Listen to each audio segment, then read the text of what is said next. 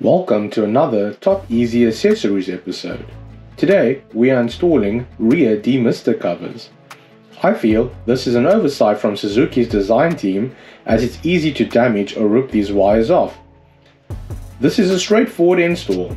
First, test fit and see if you need to adjust the demister plug by gently pushing the plug point flat. I pull the wire from the door to get more length on the cable. Line the cover to the door and while holding it parallel to the window, stick into place. If you heat up the self-adhesive tape using a hairdryer, this will help make it sticky. All done! Rear demister guards protected from your furry friends. Oh dear! Let's install rear tie-down hooks. This is located in the rear side. Turn out the plastic screw and install the tie-down hooks in place. It's that simple. This modification is we removed all these black clips and replaced it with these these hooks.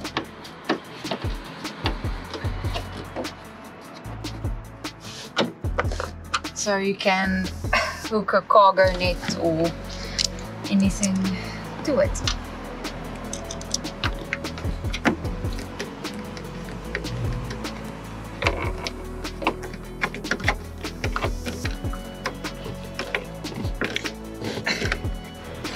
Okay, so we have this awesome 10 piece value pack bungee cord that we bought from our local camping store.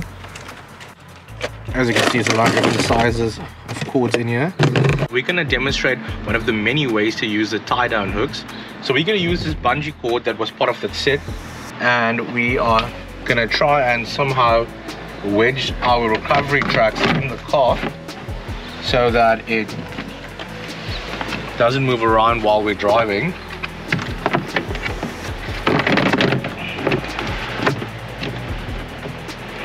This is the easiest thing we could find to show what's the whole point of it. So if you have some shopping bags, you can also just attach it to the clamp. Prevent all your stuff from sliding around. Alternatively, install headrest hooks. These come in a pair and they are much better than that solution of tying your shopping bags down. You can easily hang your shopping bags on this hook. I'm going to show you how to install it. Remove the headrest, thread the headrest poles through these holes like that. Push it up and then put the headrest back in place. Okay, so we can hang our shopping on the hook.